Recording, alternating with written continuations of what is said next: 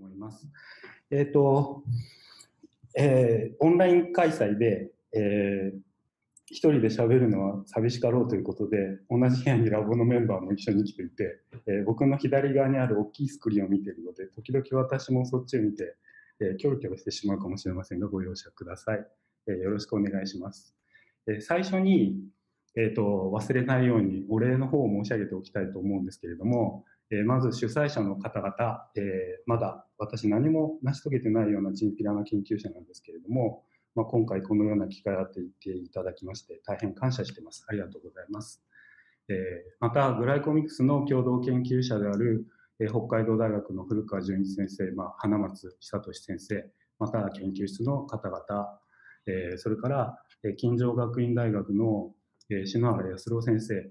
え、新天皇そういう私に、えーまあ、長く共同研究してくださってありがとうございます。本講演で少しでもそのグライコミックスについて知った知っていただけるように、えー、頑張りたいと思います。えー、また、えー、今日お話しする、え、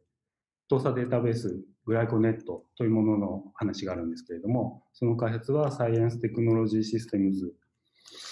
と一緒に共同で行いました。え、大変お世話になりました。ありがとうございます。で、そして講演用紙にも書かせていただいたんですけれども、この講演を通して、え皆様に、えそれなら自分にもできるという印象を持っていただいて、えまあ、どんどん参入障壁を下げて、どんどん当社のインフォマティクスに参入していただけたらいいなと思ってお話ししようと思います。えそれでは話を始めたいと思うんですけれども、え当社のことには馴染みのある方が多分少ないであろうと思うので、まあ、講演の大半は当社ってどんなものかというようなことについてお話ししたいと思います。でそれから、えー、ここのところ、まあ、取り組んできたグライコミックスの話と、そこから始まる、まあ、オミックスに向けての妄想みたいなことを話そうと思います。で、はじめに、はじめのはじめに、はじめにのはじめになんですけれども、このスライドだけを話すと、まあ、今日のことは全部話せたなという気分になってしまって終わってもいいんですけれども、えー、例えば、なんとか病の細胞のサンプルなんかがあったりとか、えー、なんとか KO の、まあ、遺伝子を KO した、えー、細胞なんかサンプルがあった場合に、えー、皆さんそれぞれ薄く透けて見えますけれども自分のとこのミックスっていうのはおそらくやると思います。で僕らもまあ、機会があればグライコミックスで糖鎖を見ていくということをするんですけれども、まあ、糖鎖っていうのは糖タンパク質の糖鎖でもあったりタンパク質、まあ、酵素とかそういったもの、まあ、なんていうかゲノムの代謝物っていう、まあ、生成物が代謝したものというものとしての糖鎖っていうことも考えられるんですけれども、まあ、これが病気とかそういったものによってまあ、変動する。他のオミックスでも同じようなことを見ると思うんですけれども、そういうものを見ると、ある病気の時は、例えば、不抗シールか不抗数がくっついた糖鎖が増えますよとか、シアル酸がついたやつが減るねとか、GM2 っていう糖鎖の発現量がすごい変動するんだっていうことが分かって、そういうものがきっかけで、まあ、マーカーが分かる可能性がある。まあ、せいぜいマーカーと書いてしまって怒られそうですけれども、それだけでもすごいことなんですが、えーこういったものが酵素とかが関与することで制御されていて、で、えっと、まあ、主に糖テイン酵素とか糖化水分解酵素っていうのが直接的な主役になるんであろうけれども、こいつらのスイッチをいつ誰が押してるかっていう、まあ、そういうネットワークはどうなってるのかとか、さらにそこから10ポイント飛んできますね。えっ、と、最終的に遺伝子のどこに変化があるとか、そういったところを逆にまあ登っていくという、まあ、こうこういったことがどうなってるんだろうっていうことがもやもやしていて、まあ、わからない。でそうそういう点でマルチオミックスっていうのができていくといいねというところで今ここに雲がかかってるんですけれどもそういった話になっていきたいなということです。で、えっ、ー、と、初めにに入るんですけれども、糖鎖についてお話ししようと思います。で、糖と、糖鎖っていうのは、まあ、糖山器、ここにありますような、六角形で O が入ってるっていうようなものに水酸基がついてでそれの誘導体というのが、まあ、糖山器なんですけれどもこいつらが連なったものを糖鎖って言います。で細胞内外には広く存在していてえー、細胞を覆う、まあ、糖位というものを形成する。で、えっと、まあ、糖鎖、代表的な、まあ、A2 糖鎖っていう糖鎖なんですけれども、まあ、こんな感じになっていて、えー、化学式で書くと、まあ、非常に複雑。で六角形がいっぱいつながっていると。で、タンパク質で言えば、これは PDB に対応するようなものだと思うんですけれども、もうちょっと簡略化すると、例えば残機名、マンノースですとか、えー、グルクナック、N アセチルグルコサミンですね。こういったものを並べて書くと。で、タンパク質と、まあ、違うところっていうのは、えー、糖鎖っていうのは左下を見ていただくと、結合位置と結合の方向によって、まあ、結合可能結合することが可能な場所っていうのがたくさんあるのでそれを特定するための数字ですとかアルファベータっていう方向を書いてやるっていうのが違います。でこの辺はタンパク質でいうと、まあ、アミノ酸の3文字表記かなというイメージがあります。でさらにも簡略化すると、まあ、記号で線でつなぐと。で、えっとまあ、数字の部分がもうなくなってしまってるけれども、ある意味こうやって書いたらもうそういうもんだよと思ってしまうくらい簡略化したもので、アミノ酸一文字表記よりももっと簡略化したような、えー、表記になると思います。こういったもので糖は構成されていて、えっ、ー、と、まあ、糖、糖、糖鎖はっていうことですね。で、糖鎖の働きなんですけれども、主には分子間相互作用を通して様々な役割を果たします。で、例えば、えー、まあ、最近流行ってますけれども、ウイルスの足場になる。えっ、ー、と、コロナウイルスは多分、えウイルスに糖鎖は生えてるんですけれども、えー、糖鎖を狙ってくるわけでは確かなかったような気がしますけれど、まあ、これはインフルエンザをイメージしてます。で、細胞の中に入る。まあ、細菌なんかも同じだと思います。で毒素やホルモンも、まあ、結合すると。で、まあ、何かが結合した時にコンフォメーション変化をタンパクが起こして、まあ、化学物質を出すっていうようなことでシグナル伝達を行っていたり、えー、細胞間の相互作用なんかの時結合なんかの対応接着ですとかそういったものに糖と糖の相互作用とか糖とタンパクの相互作用なんかがあったりします。で細胞の中でタンパク質ができてくる時にも、えー、品質管理でくっつくトーサーが、あの、タンパク質がホールディングが成功すると、ある形になったり、ホールディングに失敗するとある形になって、まあ、分解へ流されるとか、そういった管理なんかもトーサーが行っていたりします。で、えっと、当社の例を2つほどお見せしたいと思うんですけれども、最初は、まあ、よく知られていますけれども、血液型の抗原。で血液型は、えー、当社で、まあ、表現されていて、えー、この一番上に書いてあるやつ、H 抗原なんですけれども、こいつは O 型の血液を表しています。で、えっと、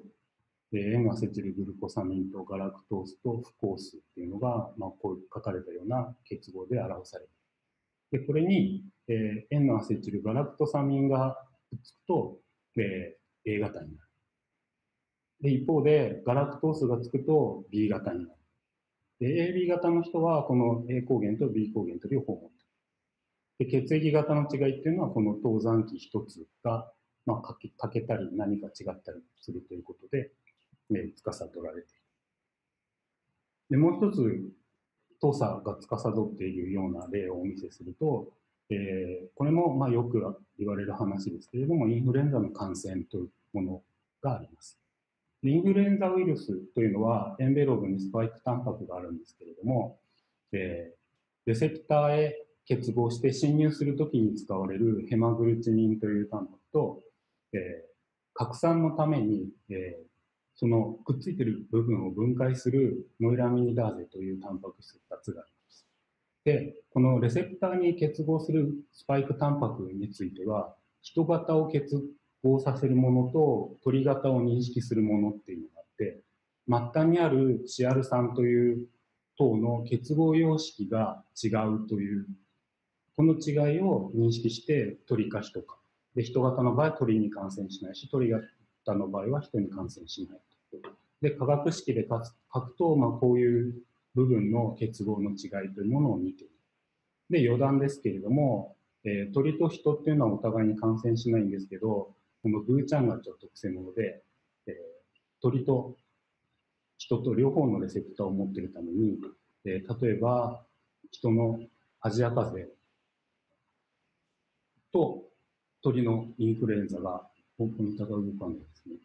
えっ、ー、と、同時に感染すると、えー、体の中で RNA が混ざってしまって新型ができる。で、アジア風邪と鳥インフルエンザから香港風邪ができるみたいなことが起こって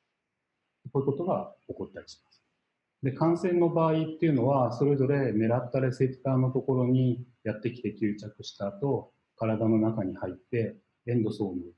に入るんですけれども、こいつをやっつけようと思って pH が上がった、下がった時に、えー、このレセプターを認識するタンパク質がコンフォメーション変化を起こして膜をくっつけてしまうということが起こって、えー、ウイルスの複製が始まる。で、出芽して出ていこうとするんですけれども、この時にもやっぱりレセプターにくっついてしまうので、このレセプターのところをもう一つのスパイクで切ってやって放出する。で、ここ、ここを止めるっていうのが、もうよくご存知かもしれないですけれども、タミフルやリレンザをはじめとしたムーラミンダーゼ阻害剤になります。で、最近話題のアビガンっていうのは、このウイルスの RNA が複製されるところを阻害するという方を持っていて、ここは多分生きていくために必要なものだと思うので、まあ、いろんなウイルスに効果が出るのではないかというふうに思っています。こんな感じで、糖鎖っていうのは体の中で重要な働きをする。で、えっ、ー、と、今度は糖鎖がすげえめんどくさいという話をしようと思って整合性経路の絵を持ってきたんですけれども、えー N 型糖鎖の整合性経路です。で、えー、細胞膜の中に埋まった脂質にリン酸が2個くっついた後で、まあ、当転酵素によって糖鎖が1つずつ伸長される。で、これ言ってみると、イメージで言えば、タンパク質の残機が1個ずつ伸びていくようなことをイメージすると、まあ、糖鎖はせいぜい10個とか20個とかかもしれないですけれども、まあ、1個1個酵素が絡んでいて、原料を作るっていうこういう反応系も絡んでいて、糖鎖が1個違う、そいつの発現量が増減するというだけで、まあ、すごい数の役者が働いているわけですね。でそういそういったところを考えると、最初の初めにの初めにで言ったような、もやもやしているところがどうなっているのかなという考えが起きたりする。で、えー、ある程度、糖鎖が伸びてきて、こういう形、えー、9個のマンノースにグルコースが3つつくという形になると、タンパク質に転移されて、えー、高タンパク質ができている。で、まだ小胞体の中なんですけれども、えー、その後でタンパクに転移されるとグルコースが取られて、で、うまく、えー、ホールディングすると、えっ、ー、と、マンモスが1個だけ削られてゴル自体で運ぶ。でそうじゃない場合は2個削られてさよならになります。ということに今度ゴル自体に、えー、運ばれると、えー、糖鎖が、えー、これ、マンノースがいっぱいついているので、ハイマンノースとかオリゴマンノース型の糖鎖というふうに言われているんですけれども、えー、新しく糖鎖を変身させるために、順番に、え、切られていくことですね。で、この N アセチルグルコサミンがくっつくっていうところが、いろいろ生体内で、まあ、反応とかあの認識とかを行うための糖鎖として、えー、必要になってくるもので、それとマンノースの影が残っている、こういったのをハイブリッド型って言います。でそこからマンノースが全部取られると、ようやく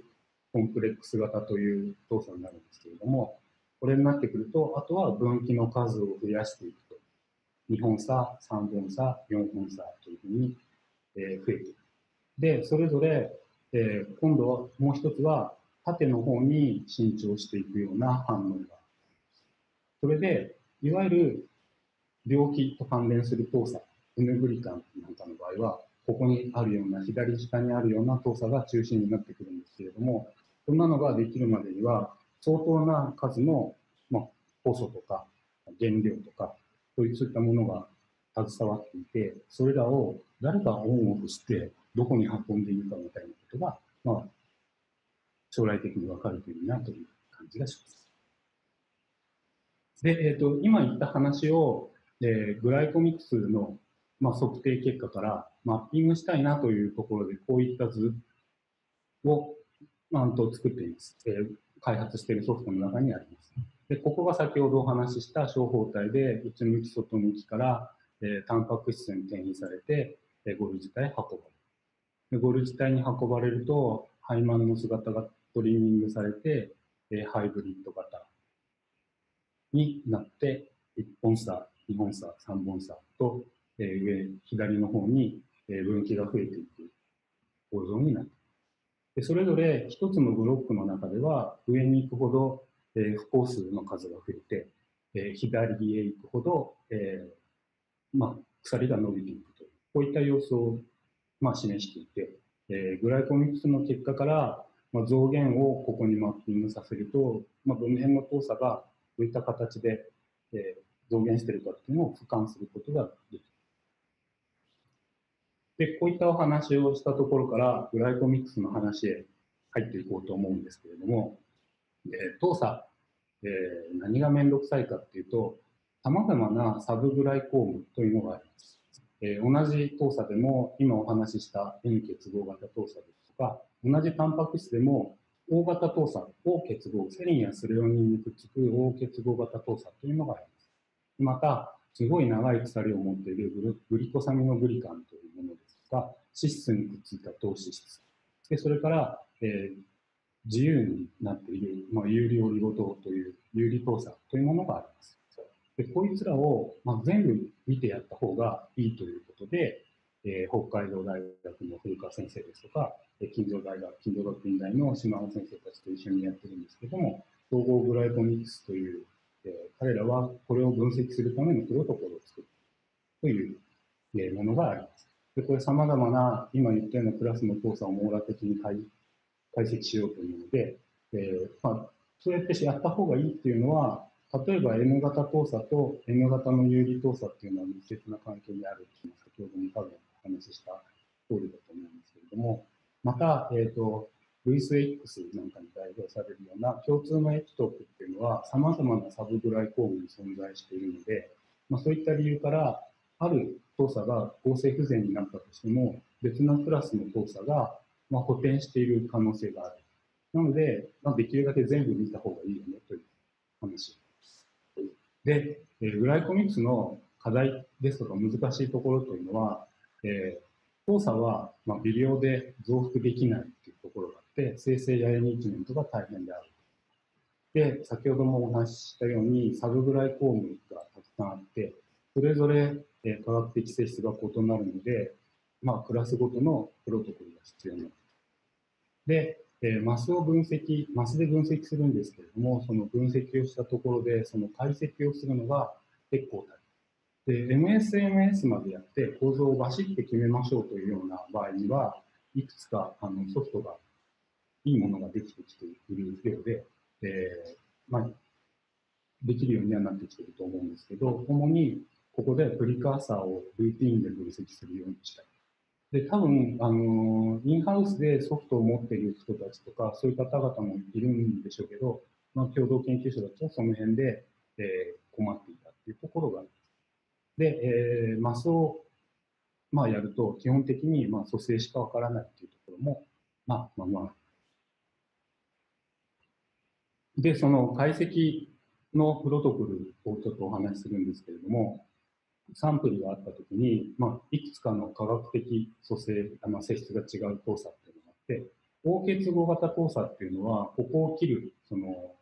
まあ、うまい酵素がないので、えー、ベータエリミネーションという化学反応を使って、ピラゾロンを結合させることで生成します。で、えー、N 結合型糖鎖ですとか、糖脂質グリコサミノグリカンというのはそれぞれ適した酵素が見出されていて、まあ、順次チューンアップもされてきていて、これを使ってリリースした後、えー、糖鎖をまあ特異的に結合するビーズというブロッドグライトというものが売られていますので、えー、こいつはあの、えっ、ー、と、オキシム形成を使って糖鎖を解く。で、ビーズに乗せてしまうと洗うことができるので、これで、えー、生成もできて、えー、シアル酸が不電荷を持っているめ、メチルエステル化をすることでキャップをして、で、えっと、まあ、えっと、ラベル交換を使って、マスに適したラベルを貼ってやって、マルティをやるという、えー、分析方法になっています。で、えっと、何もしないで、えー、動作を取ってくると、有利動作がマッチする。で、えっ、ー、と、シアルさんのところをメチルエステルでチャックする、えー、という、質量分析を用いると基本的に組成しかわからないので、えー、先ほど申したシアルさんの α23 とか α26 とかそういった結合の違いっていうのは分子認識上重要なので、この、えー、カルボキシルシアルさんのカルボキシルを、まあ、キャップするときに何かいい方法がないかというところを、まあ、研究していて出てきたという方法が、えー、サルサ法という方法でちょっと踊りたくなる方法なんですけども、えっ、ー、と、これはもともとあの島津製作所の西風先生が N グリカンに対して開発したものを、えー、古川先生たちが、えー、北大で、えー、GSL に対応させるようにチューンアップしていって、まあ、いろんなものが見えるようになった。で、えっ、ー、と、26の場合に最初のステップの時には素直にキャップが入るんですけれども、他の場合はイヤイヤをしてラクトン管を組んでしまう。でこの管をまあオープンしてやって、違う種類の髪の毛をくっつけてやると、えー、結合の違いで、えー、質量の違いを生み出すことができる。で、こういったことができると何がいいかっていうのは、例えば、えー、ナッシュの繊維化ステージについて、まあ、構造構造を調べたというお話なんですけれども、この3本差でシアル酸が3個くっついてるという動作の場合に、えー、不コースがくっつくと、えー、実はあの普通にメチルエステル化でキャップすると全部の構造が混じってしまうので、えー、変化が見えない。でこれをその構造が分かるようなサルサ法でやると、えー、変化が見えるようになる。でこの場合に、えー、上向きが26で下向きが23というちょっと小さくて見づらいんですけど、これが663という構造になっていて、同じように663と比べてやると違いが発見で、ステージを追って見ていくと、まあ、このグラフが相対量になるんですけれども、まあ、確実に相対的にフォースがくっついて、太さが増えてくるというようなものが見えてくる。で、こういったようにして、一部、えっ、ー、と、組成だけじゃなくて、結合の違いというものも見えるようになってきて。で、ではじゃあ私がここにどうやって関わっているかという話をするんですけれども、原子的で低レベルのところを、えー、まあ頑張っています。えー、サンプルがあって、データが出てきて、それを解析して考察することで一つの知見というのが出てきて、知見が集まってくるとデータベース。で、このデータベース化されるものっていうのは当社にもういくつかあって、えー、木下先生たちが開発しているグライコスモスですとか、えー、 KEGG GLYCAN、UniCarbKB などなど、えー、いいデータベースはあると思います。でこれを活用することで、えー、構造と機能とネットワークなんかを再構築すると新しい知識が出てくる。こういうその、この下の部分がいわゆるバイオインフォマティクスだと思って、知的でちょっとかっこいいなと思うんですけれども、僕はその実験のそばに立って多分そういう趣味なんだとども、ここでこの一つ一つの実験から知見を蓄えるというところに携わってで特に先ほど申したように、えー、クリカーサーをルーティンで解析しようと思っていると、まあ、10年くらい前に多分書かれた Excel のマクロを今でも使っていて、えー、すごい目がしょぼい。一回やらせてもらったんですけれども、1行やっただけでとてもやってられなくて、えー、皆さんそれを100行も200行もどんどんどんどんいくっていうすごい世界を見たんですけども、それをできるだけ自動化したい。で自動化して、まあ、データを手にできたら、すぐにその解釈、考察に役立つような何かデータを作れればいいなと言って、先ほどお見せしたような合成経路のマップみたいなものをやる。で、えーと、データの流れをちょっとお話ししようと思うんですけれども、えーえーと、あ、ソフトウェアの名前を言わないといけないね。ツールズアクセラレーティンググライコミックスっていう名前をつけていて、通称みんなタグタグってあのうちらでは呼んでいます。で、えー、質量分析をすると、ピーク強、ピークの位置ですとか、エリア強度などが出てきた Excel のファイルが出てくるんですが、えー、こいつを、まあ、ちょっと CSV 化してメタデータを書いてもらって、僕のプログラムに食わせてやると、まあ、動作を記録して、発言量が出てきて、まあ、統計化して、あの、まあ、Excel のマクロで手でやってることの大部分が、まあ、できるようになる。で、えっと、一緒にクラスター3.0の入力ファイルを作ったりして、そうすると、まあ、クラスター3.0に入れるだけでクラスター解析もできたりする。で、こいつが出してくるデータを先ほど見せた、まあ、ビューをやるプログラムに入れてやると、えー、発言量の上限ですとか、そのままグラフを貼り付けたりとか、マップを作ることができる。でこのマップっていうのも、え、自由に書くことができて、えー、なんていうか、Excel ファイルなので、追加したり、編集したりすることができるようになっている。で、えっ、ー、と、基本的に当社の貴族はデータベースサーチを行っているので、えそのデータベースについても N グリカンみたいにシステマティックに操作ができるというものについては、ある程度自動でできるようなプログラムを作ってあって、えそういうものでしたら、自分たちのデータの蓄積がなくても、ある程度のことができるようになると思います。で、えっ、ー、と、ネットワーク、えっ、ー、と、パス、パスの上に増減を貼り付けたという例をお見せしたいんですけれども、何をお見せしようかと思ったんですが、えー、積みかまいしというもので処理した細胞の動作発現変化を見せようと思います。えっ、ー、と、これは、えー、動作合成経路でいうと、一等最初のここを阻害するっていう薬剤で、そうすると、まあ、面白くないんですけど、全体的に動作が減るっていうことになります。で、えー、これが、えーと、タグが出力する、その、グラフ、えー、父さんの変化のグラフなんですけれども、これ、ここに組成だけ書いてあって、グラフはあの僕が手で貼り付けたんですけども、N グリ間でこの組成っていうと、まあ大体こういう構造っていうのが、まあ分かっているというところがあるので、まあエイヤーってことが貼り付けで、これを実験する人たちも、ほぼこういうのはこうだろうということが言われているので、こういうのは分かりやすく、えできる。で、怪しくなると、やっぱり MSMS 解析をしたり、より詳しい解析をして構造を決定するということをしてで、これが、えー、パスウェイの絵で、先ほどは全体像をお見せしたんですけれども、ここはちょうど、あのー、万能数ができて、ゴル自体に運ばれて、まあ、トリミングされていくというところの様子を見てるんですけど、青っぽく見えてるところは全部減ってるところで、えー、最初の、えー、予想通り、まあ、減ってる。で、この M8 っていう動作だと見えるかわかんないんですけど、まあ、3割ぐらいまで減ってるというふうなものが見えています。で、こういったものが、えー、まあ、慣れてくると色の付き方で、まあ、どこの動作が変動しているかっていうのも見えるようになってくるんですけれども、えー、こういったところから、えー、ブライトミックスは、まあ、生体、なんていうか、整合性経路上で、まあ、どんなふうになっているかっていうところまでは見えるんじゃないかなという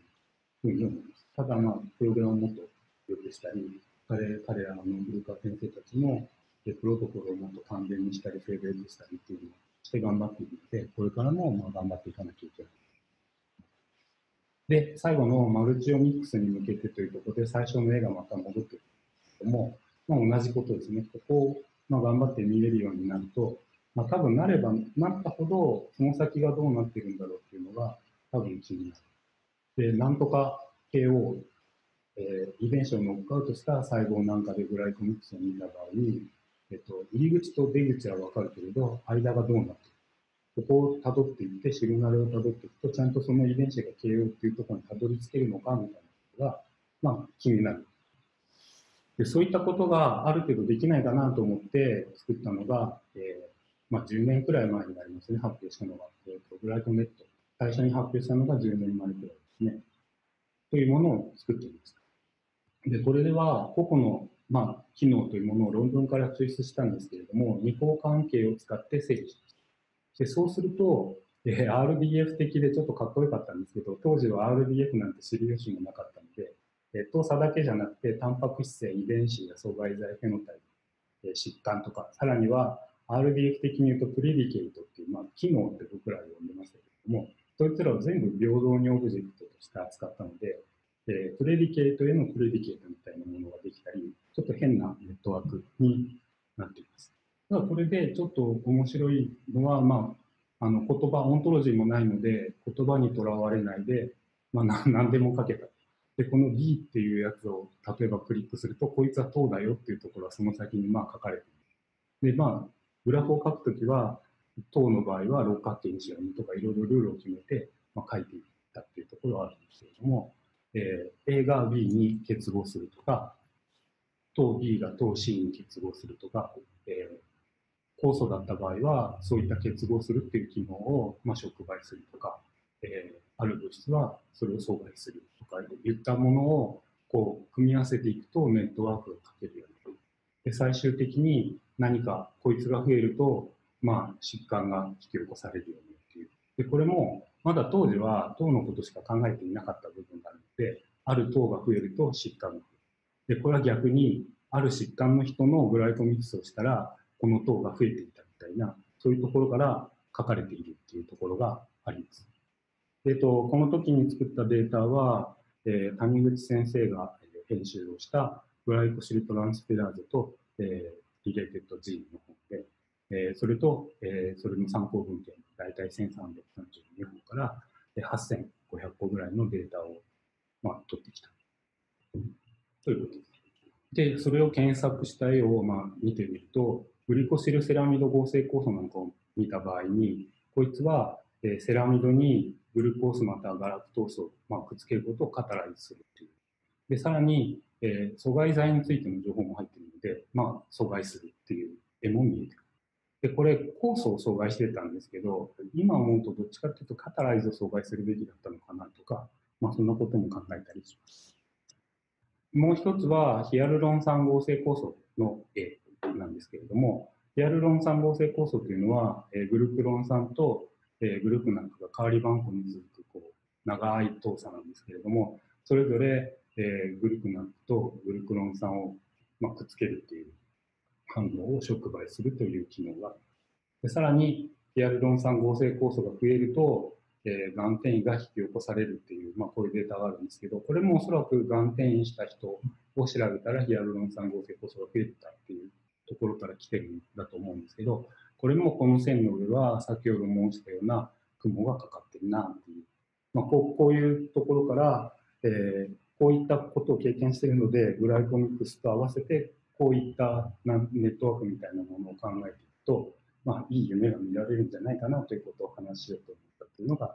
今日のお話で、えーと、今あの石浜先生のところのプロジェクトでプロテオームを一生懸命やらせていただいてるんですけどもそれも、えー、こういうお話とやっぱり関連する部分があって、えー、グライコミックスから今頑張ってるプロテオームのところへ入ってくると、もうちょっと今、今日話したような話に食い込んでいけるんじゃないかなというふうに、え、考えています。で、これはマルチオミックスの妄想というお話です。というところで、えー、本日のお話は、えー、終わります、えー。ご清聴ありがとうございました。えっ、と、今週準備で結構疲れて寝不足なので、マルチオミックスの夢をこれから見ようかなと一瞬思います。ありがとうございました。以上です。